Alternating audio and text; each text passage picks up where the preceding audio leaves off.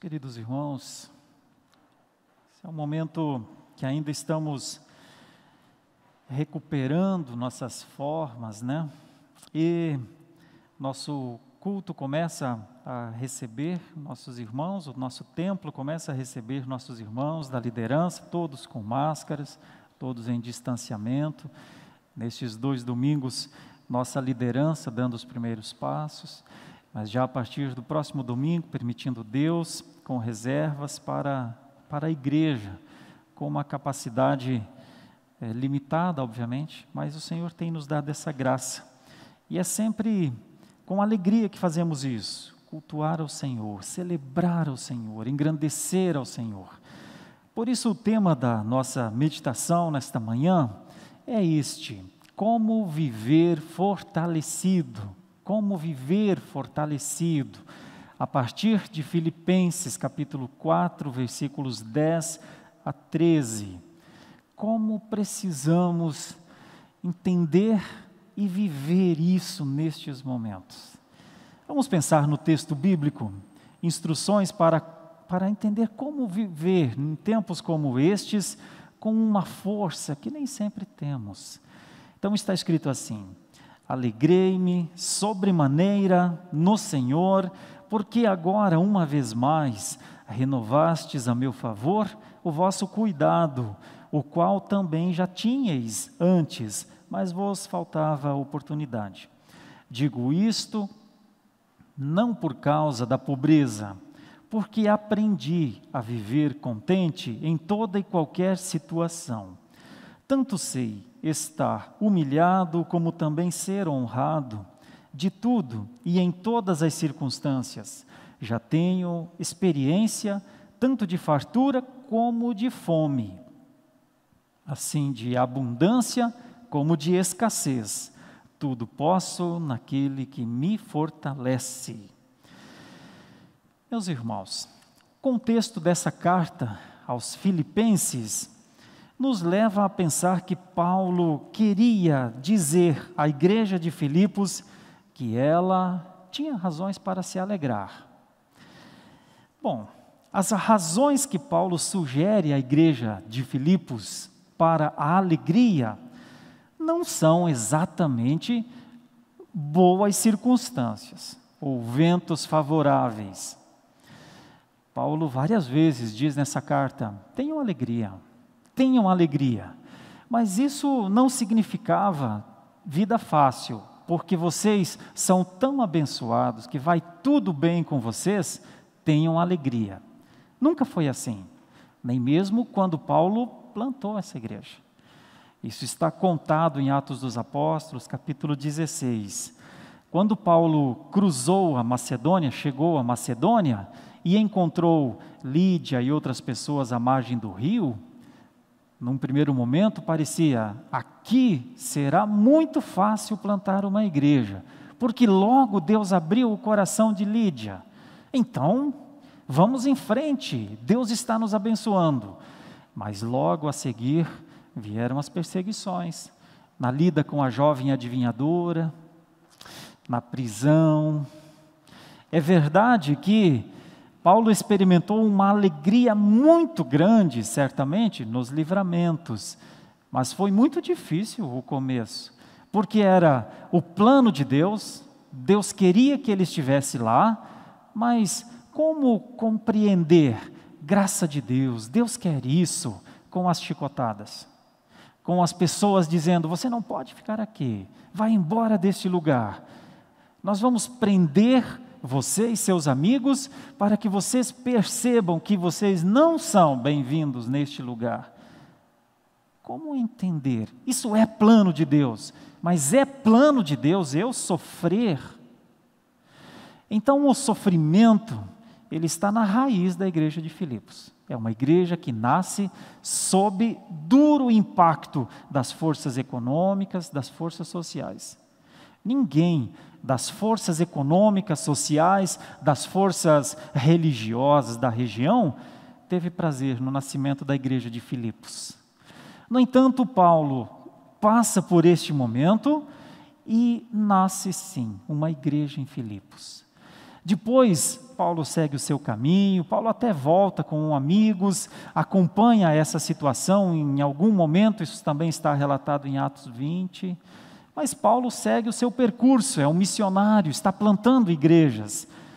E então, em determinado momento, ele escreve uma carta para essa igreja. Está preso nesse momento, preso. Escreve uma carta. Olha o teor da carta do plantador. O que o plantador dessa igreja poderia dizer? Olha, não deixem que pisem em vocês, igreja de Filipos. Ah, revidem, porque vocês não podem é, suportar é, caladamente as opressões, é, tudo aquilo que eu sofri, vinguem o meu sofrimento. Ele está preso, mas ele escreve dizendo: Meus irmãos, alegrem-se, alegrem-se, alegrem-se, porque no Senhor é possível nos alegrarmos.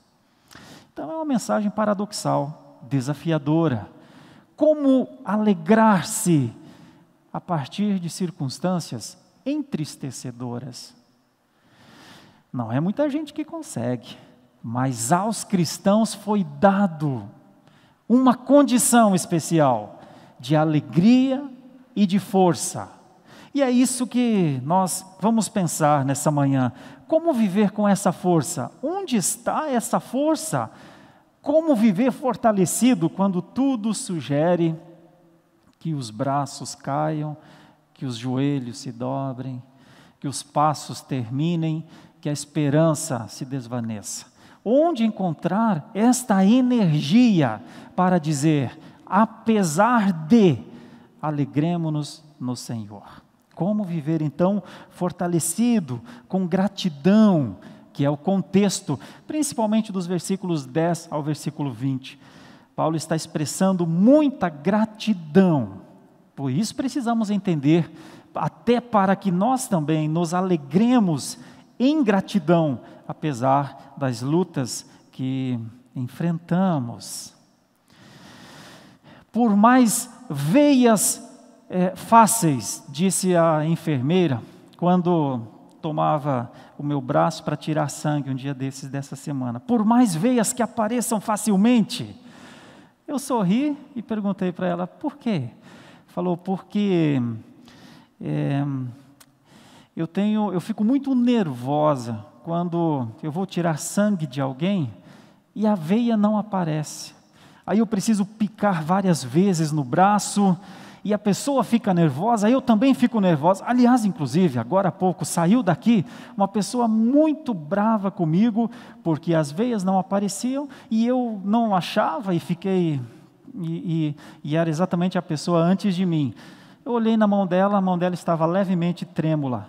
Confesso que me deu certo medo ali, mas aí eu disse para ela: fica tranquila, minhas veias aparecem facilmente, só se hoje elas se esconderem, mas Coloquei e fiquei, Senhor, faz a veia aparecer. Aí ela, tá, tá, tá, é, apareceu.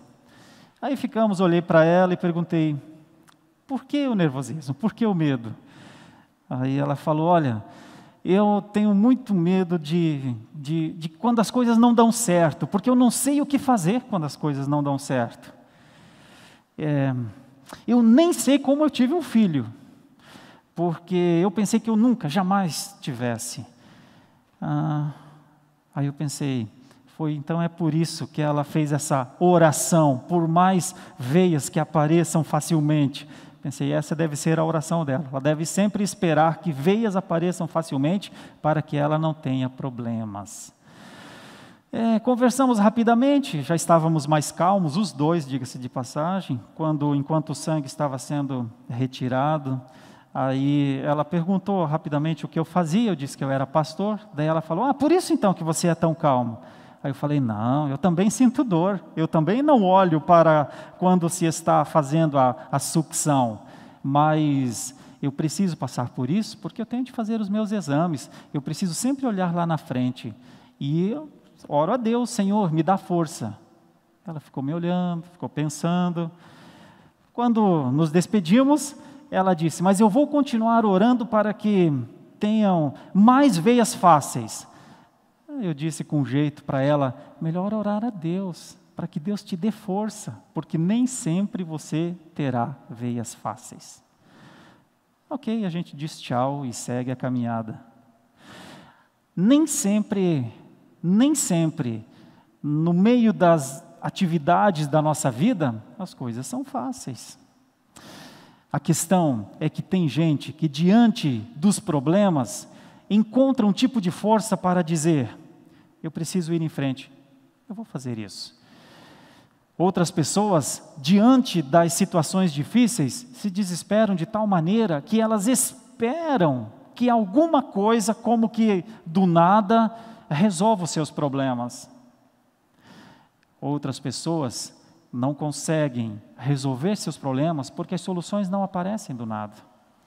E então muitas pessoas têm uma vida inteira de problemas não resolvidos. Parece que está tudo bem com elas. Elas aparentam é, tranquilidade e quando você conversa com elas, elas sabem inclusive como as outras pessoas devem agir em relação aos seus problemas mas elas nunca conseguem resolver os seus próprios problemas. Você já pensou um profissional passar uma vida inteira lidando com veias, esperando sempre encontrar veias que apareçam facilmente? É uma tortura, não é? Pois a palavra de Deus pode nos ajudar a superar coisas assim. Paulo nos dá um exemplo aqui, que é possível encontrar um tipo de força que não dependa do acaso e que não dependa nem de nós. Nós que somos da geração X, eu que sou nascido em 1970 e outros irmãos aqui, os mais novos talvez não, mas nós crescemos vendo desenhos na televisão que muitas vezes formataram nossas cabeças. Um dos mais conhecidos da nossa geração era o He-Man. O He-Man, ele encontrava força, nos poderes de Grayskull. Antes, ele era um jovem fraco, que tinha um cachorro medroso. E então ele era encostado contra a parede. Problemas, problemas, problemas. E de repente, ele levantava uma espada. E pelos poderes de Grayskull, ele ficava muito forte. E ele dizia: Eu tenho força. Até o seu gato passava a ter força. Magicamente, você já pensou que nós passamos nossa juventude talvez inteira pensando que o homem pode ter força se ele quiser? Talvez se ele encontrar uma espada? Nenhum de nós encontrou a espada. Como nós superamos todas as coisas na nossa vida? Muitas vezes esperando que magicamente soluções é, acontecessem. Ou encontrando dentro de nós, dizendo: Não, eu tenho essa força, eu tenho essa força, mas eu faria essa pergunta: será que a gente tem mesmo esta força? Os estoicos, que são do tempo de Paulo, eles desenvolveram um pensamento, eles, imaginar, eles imaginaram, eles desenvolveram uma ideia que era possível, pelo poder mental, isolar a dor, pelo poder mental, dominar os sentimentos, pelo poder mental, não se importar com nada das situações difíceis da sua época. E então eles também diziam, lá naquele tempo, nós temos a força. Eles não levantavam uma espada, mas eles diziam: está dentro de mim, eu tenho essa força. O poder do pensamento, o poder da concentração, o poder de não deixar que as coisas que estão acontecendo ao meu redor me atinjam. Eu sou imune. É contra eles, inclusive, que Paulo está usando a carta de Filipenses para falar: sim, é possível ter uma força, mas ela não vem das mágicas. Ela também não vem da força do pensamento. Então, onde está essa força? Como vamos encontrar esta força? Paulo vai dizer que a força tem uma origem. Bom, aqueles que são mais novos, que não assistiram He-Man, é, ainda assim, as, as obras de ficção retratam muito a questão da força.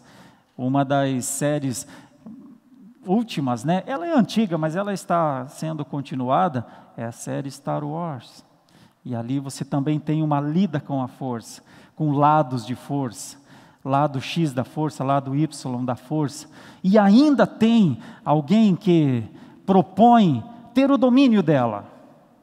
Tanto é que um dos slogans de Star Wars é que a força esteja com você. Bom, mas é possível reter essa força?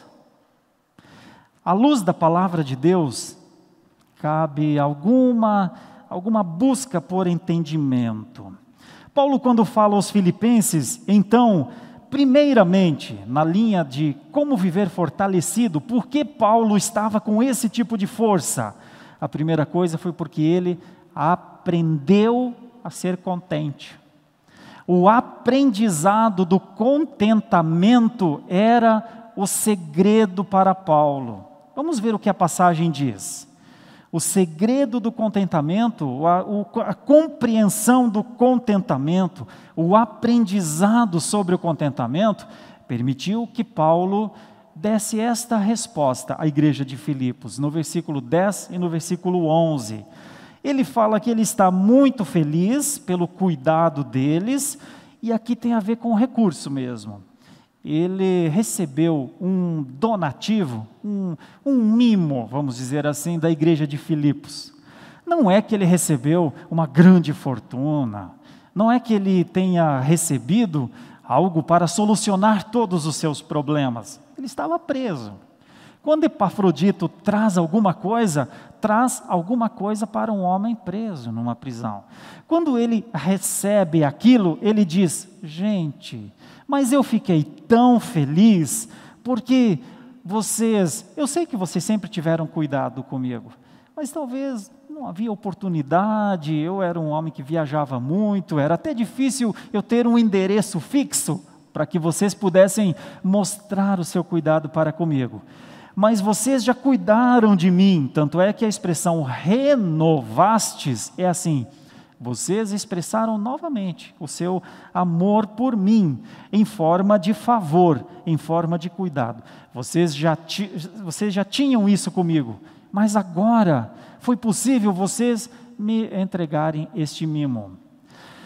A alegria de Paulo, se nós olharmos sem contexto, sem pensar no todo, nós podemos pensar que a alegria de Paulo era pelo presente.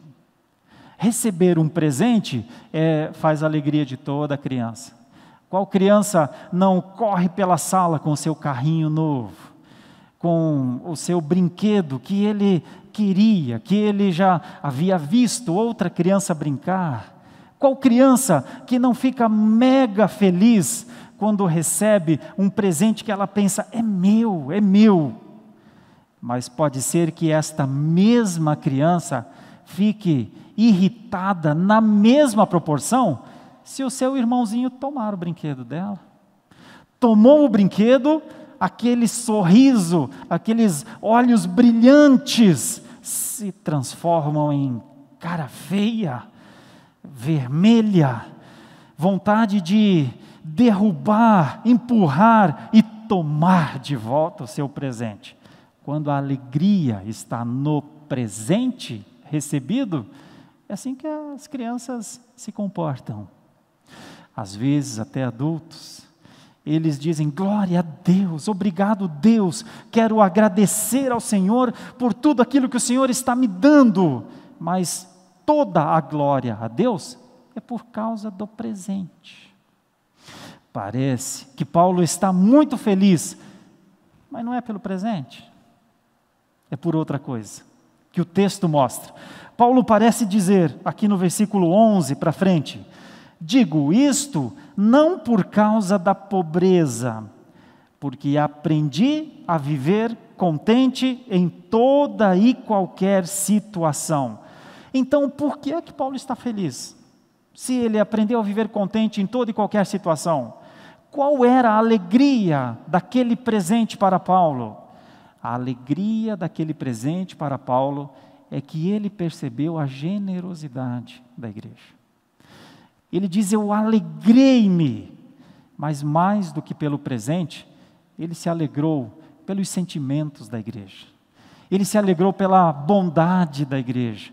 Ele se alegrou porque é como se ele dissesse: gente, eu sempre ensinei isso. Eu sempre ensinei que mais feliz, mais bem-aventurado é o que dá do que o que recebe. Eu sempre ensinei que a verdadeira alegria está em cumprir o seu serviço, o seu ministério, em exercitar o seu dom, geralmente em favor dos outros. Eu sempre ensinei isso. E agora, não é que eu estou vendo isso de vocês para comigo. Notem que esta é a alegria de Paulo. Certamente o presente ou a coleta, aquilo que Epafrodito entregou para Paulo, não resolveria os problemas de Paulo. Ele continuou preso, ele continuou com todas as suas dificuldades, ele continuou comendo a comida da prisão, vestindo as roupas da prisão, com os, as algemas ou as coisas próprias de uma prisão.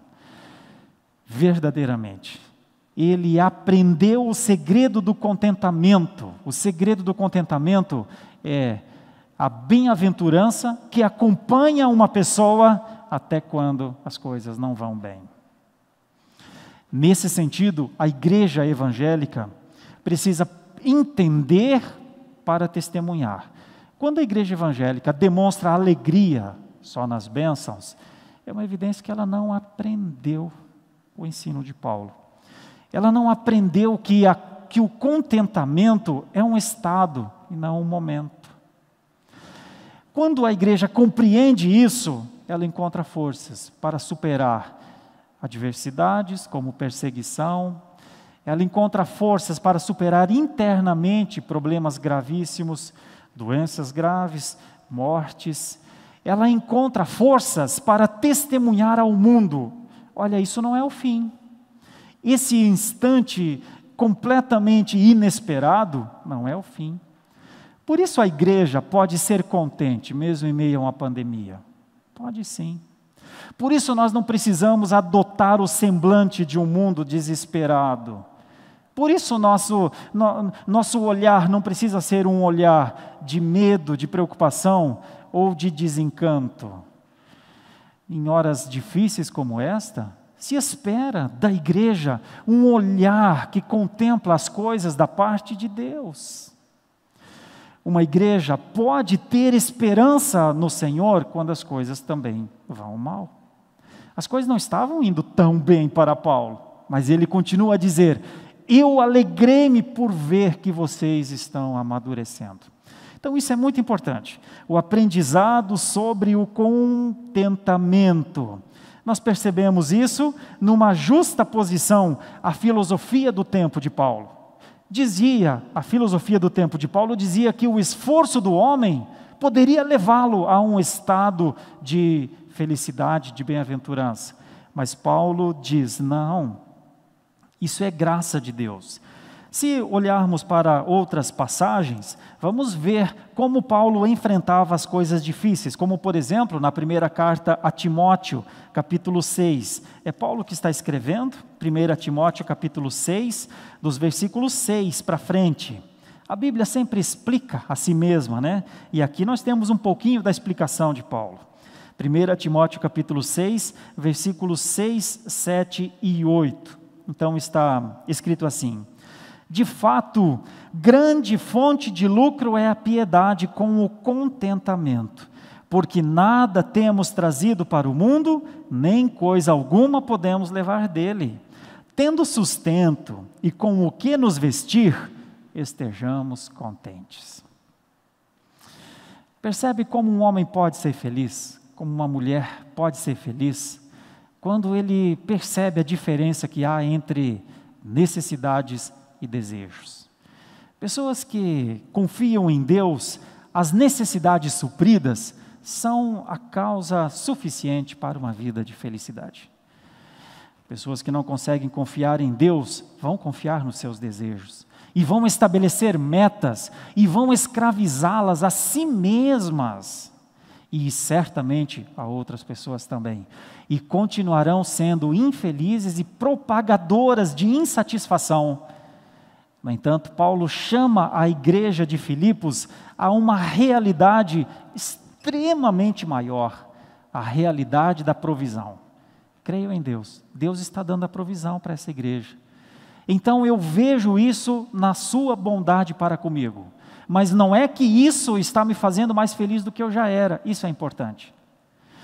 Paulo, ao receber o presente, está agradecido, está feliz, mas não era a satisfação de um insatisfeito. Ele não estava dizendo, olha, eu estava muito insatisfeito, mas agora que eu recebi o presente, agora eu sei que Deus existe, agora sim, eu estou muito feliz. Não.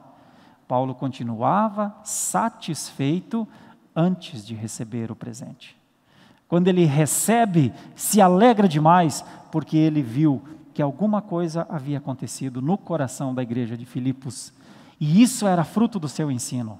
A igreja havia amadurecido, e por causa disso ele dá esse testemunho, o testemunho do aprendizado sobre o contentamento. Depois vem uma outra ideia, do versículo 12 até o versículo 13, inclusive o versículo 13, muito usado sempre, né? Tudo posso naquele que me fortalece. Vamos entender um pouco isso, para compreender por que é que Paulo estava tão fortalecido. E por que é que o fortalecimento de Paulo é um legado para nós nos dias de hoje? Versículos 12 e 13, Paulo vai expressar o seu aprendizado sobre a força. Então, no início da meditação, falei de alguns tipos de forças, né? Sejam as forças que a ficção nos ensina, que muitas vezes nos acompanharam por nossa adolescência e juventude inteira, seja o que hoje nossos jovens estão aprendendo sobre força, mas Paulo mostra um aprendizado sobre força. Tenho a impressão que este aprendizado é muito mais importante do que toda e qualquer obra de ficção que nós tenhamos acompanhado sobre força. Tanto sei estar humilhado, como também ser honrado. De tudo e em todas as circunstâncias, já tenho experiência, tanto de fartura como de fome, assim de abundância como de escassez tudo posso naquele que me fortalece. Olha, meus irmãos, quando Paulo usa essa expressão aqui, do versículo 12 até o versículo 13, para nós que lemos a Bíblia o tempo inteiro, eu, eu, quando, eu quando preparei essa meditação, eu havia lido um pouco antes justamente o que Paulo escreveu em Filipenses 2, quando ele conta o exemplo da humilhação e da exaltação de Cristo. Cristo também foi humilhado e exaltado. Está lá no capítulo 2, versículo 5 para frente. Tende em vós o mesmo sentimento que houve também em Cristo, pois ele, subsistindo em forma de Deus, não julgou como usurpação o ser igual a Deus, antes a si mesmo se esvaziou, assumindo a forma de servo, tornando-se em semelhança de homens e reconhecido em figura humana a si mesmo se humilhou, tornando-se obediente até a morte e morte de cruz. Pelo que, e aí vem a outra parte, pelo que também Deus o exaltou sobremaneira e lhe deu o nome que está acima de todo nome, para que ao nome de Jesus se dobre todo joelho nos céus, na terra e debaixo da terra, e toda língua confesse que Jesus Cristo é Senhor, para a glória de Deus Pai. A pergunta é: como Jesus suportou tanta aflição? Como ele passou por esse momento tão difícil? Jesus mesmo já havia dito aos seus discípulos, enquanto, enquanto ainda estava com eles: Eu vou para junto do Pai e enviarei o Espírito, e o Espírito vos convencerá do pecado e do juízo. Será muito bom para vocês quando o Espírito vier a força para suportar tudo isso veio do Espírito de Deus. O Espírito de Deus que pairava sobre as águas quando a terra foi criada é o mesmo Espírito que, é, é, com Maria, é, deu a condição do, da segunda pessoa da Trindade encarnar. É o Espírito.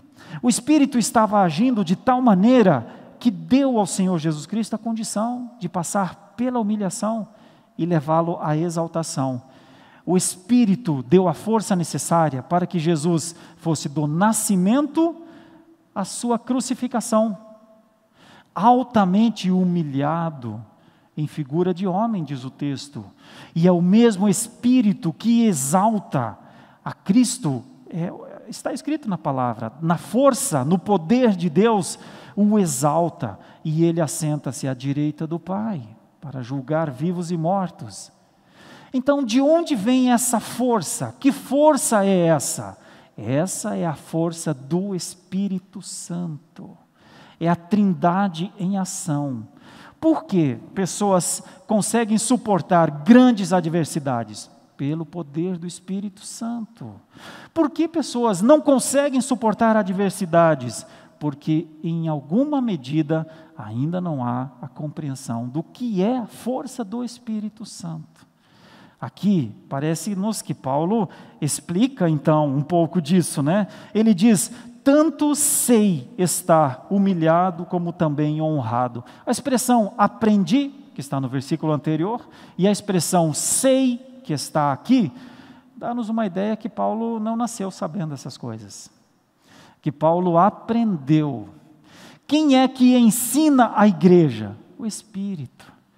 O Espírito ensinou a Paulo, o Espírito ensina a igreja, o Espírito nos dá o privilégio de compreender a nossa alegria realmente não pode vir das circunstâncias. Mas isso não é algo que nasce conosco. Lembram da criança? A criança fica muito feliz quando recebe alguma coisa, mas fica muito triste, às vezes até raivosa, quando perde alguma coisa, porque ela ainda não aprendeu. Como disse Davi: em pecado me, minha mãe me gerou, eu nasci na iniquidade.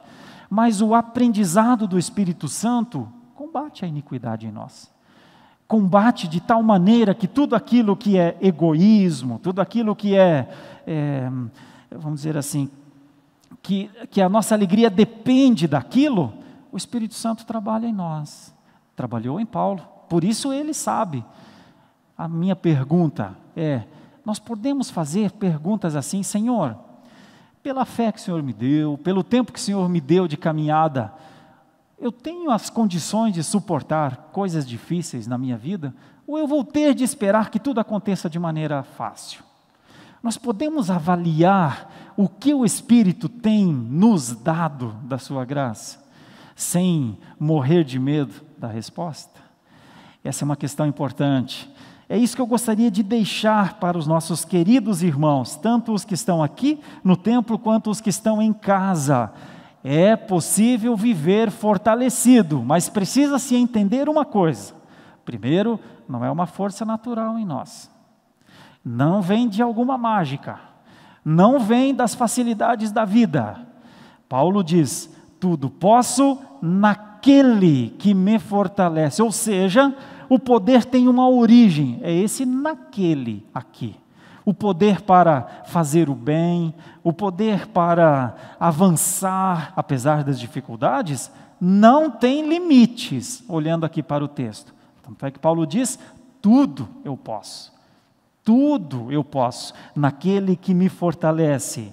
Nós temos de nos perguntar, então, quem é que nos dá essa força? E para concluir essa meditação, eu preciso ir para um dos símbolos de fé que trata sobre isso. É a Confissão de Fé de Westminster, no capítulo 16, quando fala de condições que os cristãos têm, que eles receberam para suportar aflições e até fazerem o bem. No capítulo 16, no versículo 13, está escrito assim: pense comigo, acompanhe essa leitura, porque isso é muito importante. A capacidade de fazer boas obras, de modo algum provém dos próprios fiéis. Ou seja, força, energia para fazer alguma coisa realmente importante no mundo, não é alguma coisa que nós nascemos com ela. Não é alguma coisa que encontramos dentro de nós, é o que diz a confissão de fé, mas inteiramente do Espírito Santo. É o que está na confissão de fé se podemos fazer alguma coisa, essa condição vem totalmente do Espírito Santo. Foi essa condição para Paulo, foi essa condição para Jesus como pessoa humana, como figura humana. Tem mais. A fim de que sejam para isso habilitados, além da graça que já receberam, é necessário uma influência positiva do mesmo Espírito Santo para operar neles o querer e o efetuar. O querer normalmente está na nossa mente, o problema é o efetuar.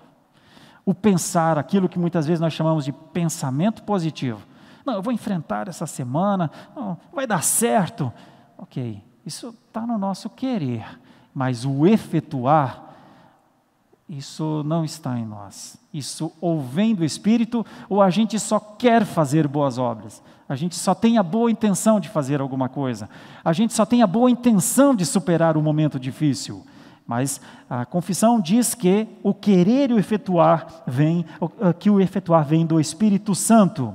E ainda mais, mais para o final, tem uma expressão assim: olha, os cristãos devem esforçar-se por dinamizar a graça de Deus que está neles. Isso está na confissão de fé de Westminster. A graça nos foi dada. Graça é um presente de Deus. A graça é a força que está em nós, é como se fosse potência e velocidade em um carro. A graça é como se fosse a força, a força para superar, está dentro de nós. Um carro tem força, tem potência, é a primeira marcha. Quando ele começar a andar, tem que fazer a segunda marcha, tem que fazer a terceira marcha, tem que fazer a quarta marcha. Isso já não é mais força, isso é velocidade. Cristãos têm a graça de Deus para enfrentar as coisas mais difíceis do mundo. Isso é a força. Mas eles precisam, como diz a confissão de fé, baseada em Isaías 64, devem esforçar-se por dinamizar a graça de Deus que está neles. Como viver fortalecido, meus irmãos? Com o pensamento dos estoicos, dizendo: eu não me importo, eu não ligo. O mundo pode cair porque dez mil caem, caem ao meu lado, outros mil caem para o outro lado e eu permaneço seguro. Será que é assim? Será que é fugindo dos problemas? Olha, não quero falar sobre isso. Sobre isso não toquemos nesse assunto, porque não posso me magoar, como é que conseguimos viver uma vida feliz? É esperando veias boas o tempo inteiro? Porque quando vem as veias difíceis de serem encontradas, fica nervosa a enfermeira e dói o braço do paciente? Como nós vamos resolver as situações dentro das nossas casas, dentro das nossas famílias? Cada um no seu canto, não tratemos dos assuntos difíceis e assim, por isso, não brigamos? Isso é uma demonstração de uma fraqueza muito grande de fé. Paulo tem até para isso uma resposta. Ele diz: Quando estou fraco, é que sou forte. Mas a fraqueza de Paulo não era de fé. A fraqueza de Paulo era muitas vezes física. A fraqueza de Paulo era porque este, sim, verdadeiramente, muitas vezes esteve lá dentro de uma prisão e lá tinha de testemunhar da graça de Deus. É o caso dele quando plantou a igreja de Filipos. Quero aplicar isso para nós, meus irmãos. Como viver fortalecidos, fortalecidas, como viver com a graça que vem do Senhor, podendo dizer ou testemunhar como Paulo disse. É Ele, é Deus, o poder é dele, Ele tem poder, eu não tenho. Eu tenho medos, eu tenho fraquezas. Diante das situações difíceis, eu quero fugir, eu quero correr. Diante dos momentos mais adversos, eu quero me esconder. Eu não quero me expor. Isso não está em mim, mas está nele. O que Paulo está fazendo aqui aos Filipenses é dar um testemunho da glória de Deus. Que a igreja pode fazer nos dias atuais é dar um testemunho da glória de Deus, que ela é forte. Muitos pensaram que a igreja sentiria essa pancada da pandemia. Irmãos, deixa eu dizer com tranquilidade isso para vocês. A igreja não está sentindo em nada na sua fé. A igreja está sendo fortalecida na sua fé. A igreja está percebendo o cuidado de Deus, mesmo em meio às adversidades. A igreja está testemunhando que há uma força, um poder, que não está nela em si, mas está naquele que a fortalece. Por isso a igreja tudo pode em todas as situações, até passar por escassez, porque ela tanto aprendeu quanto sabe viver em todas as situações. Sim ou não? Quando você ouve uma mensagem assim, você se sente dentro da igreja, fortalecido pelo Espírito de Deus? Essa é a minha oração. Minha oração é que a igreja passe por problemas como este, dando glória a Deus, Dai glória a Deus como foi cantado agora há pouco. Mas isso não pode ser uma expressão só de falar.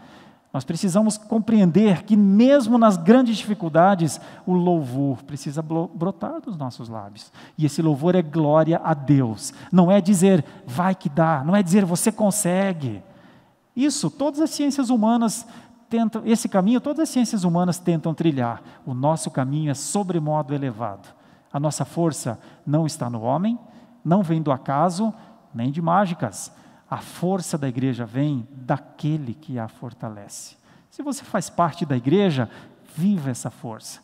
Não confunda a realidade com ficção. Essa é uma realidade para os filhos de Deus. Que o Senhor Deus possa encontrar em nós gratidão, como expressa em Paulo, que possa encontrar em nós alegria, como expressa em Paulo, que o Senhor Deus possa encontrar em nós verdades, como as defendidas por Paulo. Como viver fortalecido? Quando a gente aprende sobre o contentamento, quando a gente aprende sobre a força que vem de Deus.